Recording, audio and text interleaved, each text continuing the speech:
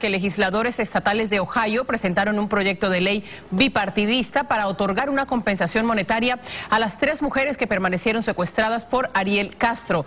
De ser aprobada, recibirían 25 mil dólares por cada año que estuvieron secuestradas. Michelle Knight obtendría 275 mil dólares por haber estado 11 años en cautiverio.